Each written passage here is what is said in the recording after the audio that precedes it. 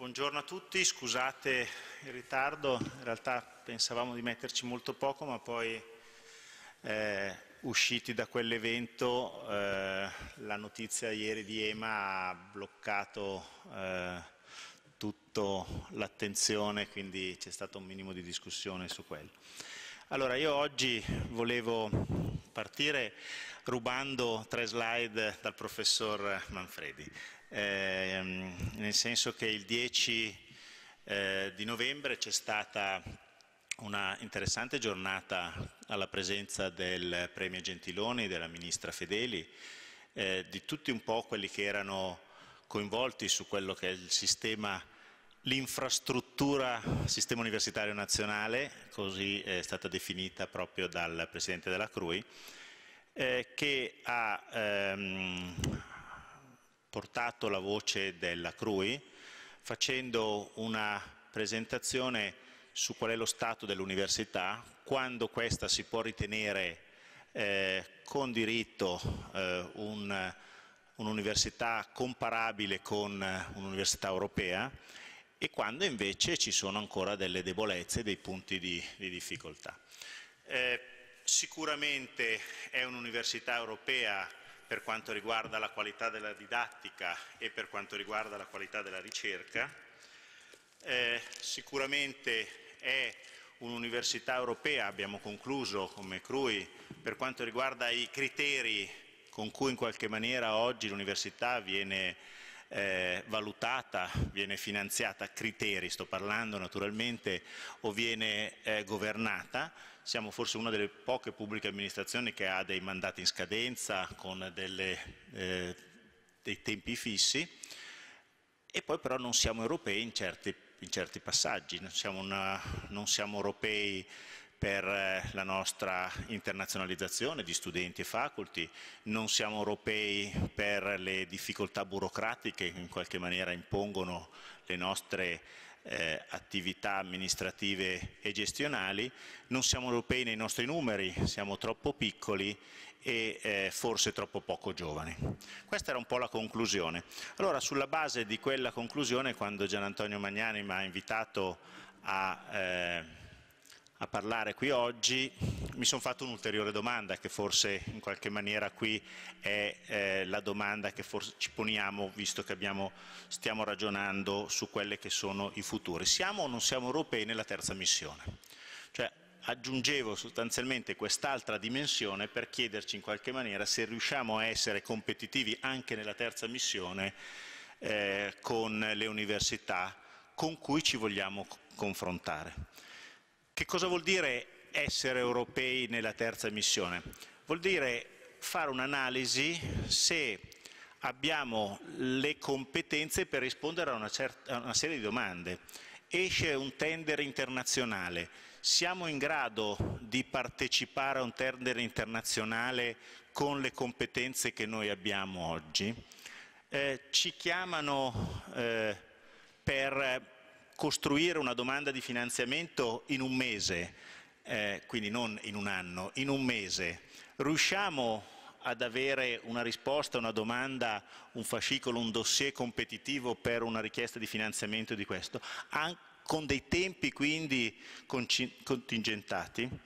Dobbiamo montare un progetto che vada al di là di quelle che sono le competenze della singola disciplina che è caratterizzata tipicamente dai nostri dipartimenti, un progetto che quindi vada al di là delle discipline e che magari abbia anche alcuni temi che sono fuori da quelli che sono quello che è il perimetro tipico della ricerca, pensate alla responsabilità sociale, la ricaduta sul territorio, l'impatto, oggi tutto ha bisogno di una valutazione di quello che è l'impatto siamo in grado di valutare un progetto imprenditoriale, eh, non da un punto di vista del quanto la bellezza di, della mia scoperta, dei miei figli, i miei figli sono sicuramente i più belli di tutti, non c'è dubbio, ma da quanto questo progetto riesce poi ad essere sul mercato, ad avere le gambe per camminare, di che cosa ha bisogno? Per gestire una campagna di crowdfunding o una trattativa anche un po' agguerrita con eh, dei venture capital. Se le risposte a queste domande è sì, direi che uno, siamo un'università europea, due, non abbiamo bisogno di una fondazione universitaria. Eh, se le risposte di alcune di queste domande invece è forse no, allora abbiamo ancora un gap verso una università europea e allora abbiamo bisogno di strumenti che probabilmente non tutti sono interni alle nostre università. Quindi io la vedo molto semplice in qualche maniera il problema. Allora il Politecnico 15 anni fa ha cominciato una trasformazione. Abbiamo anche i responsabili in sala, quindi insomma, se, se la, dove siamo arrivati è anche colpa del professor De Mani, del professor Baglio, che adesso si nascondono ma, ma ci sono, che hanno avviato una trasformazione. Hanno avviato una trasformazione perché forse a quelle domande, formulate così o formulate in modo diverso, non è importante, si sono dati una risposta che era no. Eh, non avevamo le competenze per, per rispondere a tutte quelle domande. E quindi in questi 14 anni la Fondazione Politecnica di Milano è diventata parte indispensabile di questa trasformazione e parte indispensabile di un qualche cosa che va al di là dell'università, che io chiamo sistema politecnico, nel senso che alla fin fine faccio anche fatica a capire dove sono i confini dell'uno e l'altro,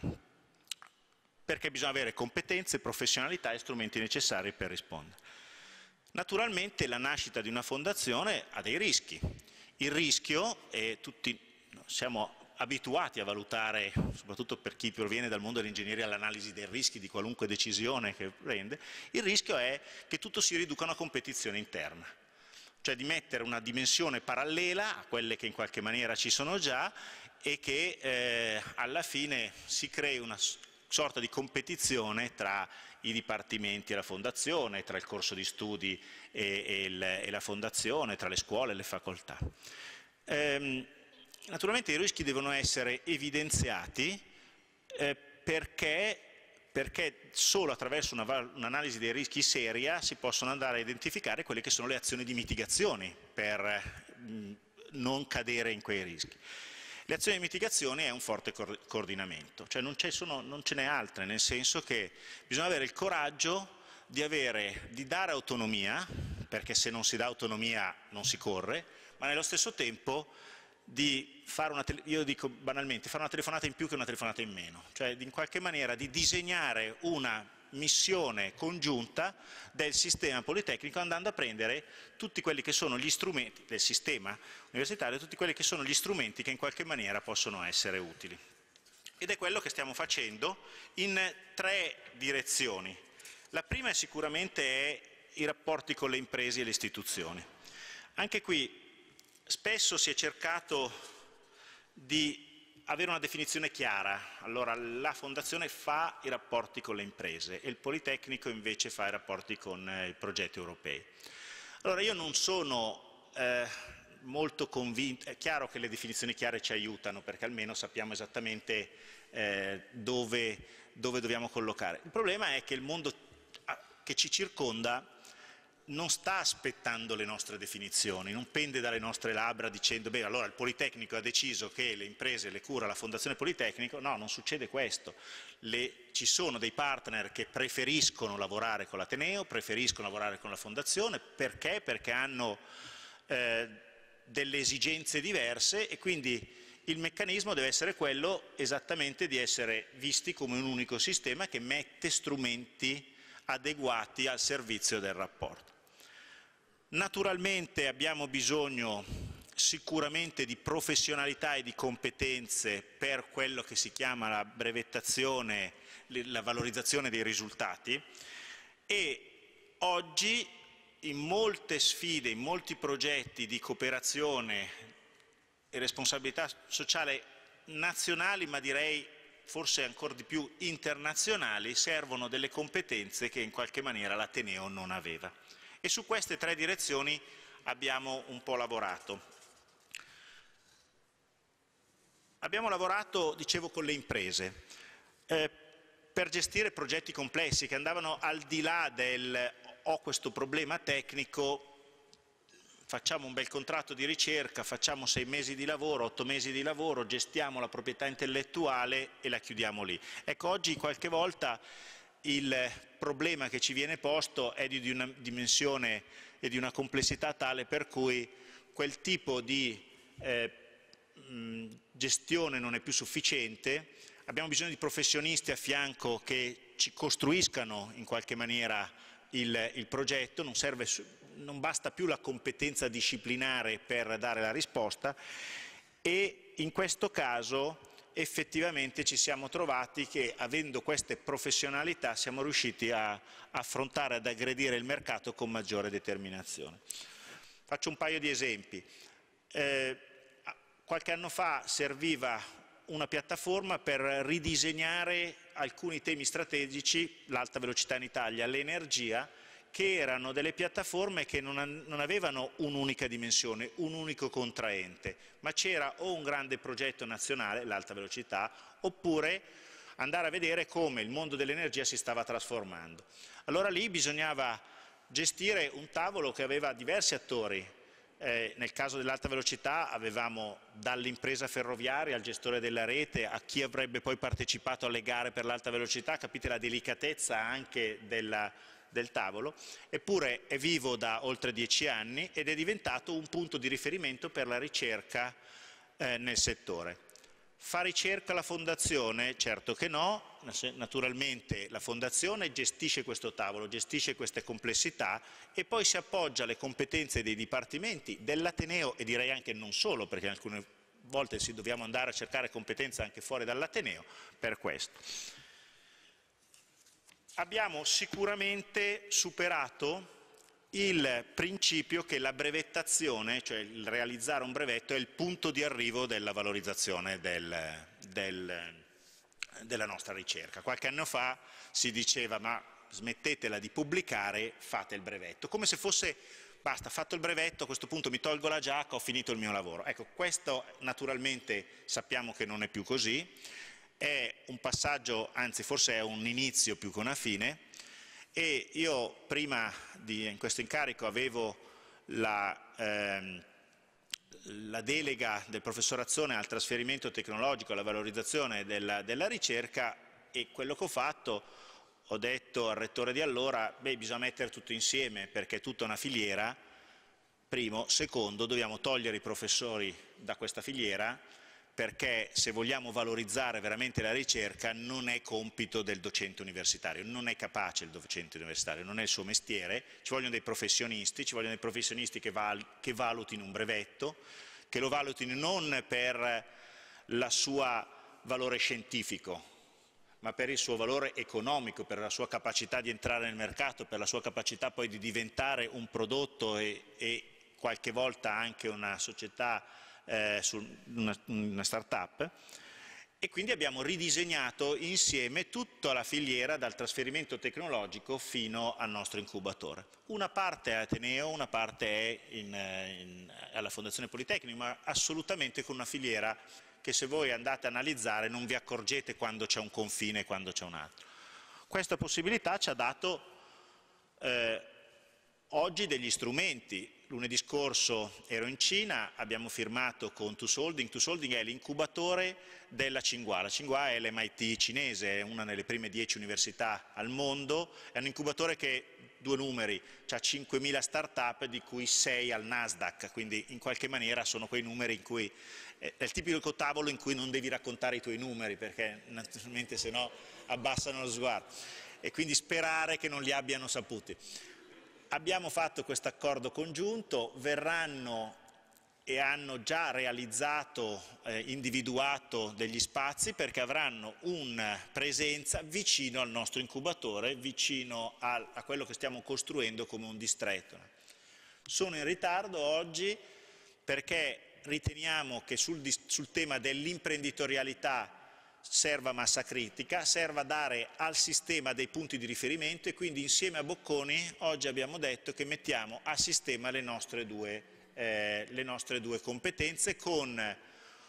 due asset, una comunità unica, cioè il nostro studente e il loro studente potrà liberamente partecipare alla carta dei servizi unica che quindi in qualche maniera metteremo a sistema le carte dei servizi di PoliHub che potranno essere offerti non soltanto agli studenti del Politecnico ma anche agli studenti di Bocconi perché abbiamo bisogno di massa critica e di apertura internazionale perché sono le due direzioni su cui in qualche maniera in questo, in questo lavoro possiamo andare, eh, possiamo andare a, a competere. Dicevo, abbiamo un programma che abbiamo chiamato Polisocial qualche anno fa, nel senso che riteniamo che oggi il Politecnico si può permettere anche di, di dire che la terza missione è qualcosa che va oltre i rapporti con le imprese, nel senso che il nostro Ateneo, l'impresa è talmente all'interno del nostro DNA che non ha bisogno, forse è, è già dentro nelle prime due missioni,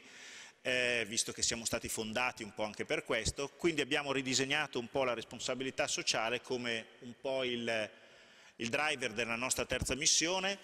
abbiamo focalizzato alcune, stiamo focalizzando alcune delle nostre esperienze proprio in questa direzione, cito una, l'Alta Scuola Politecnico, a cui stiamo chiedendo un po' di supporto a questo, ma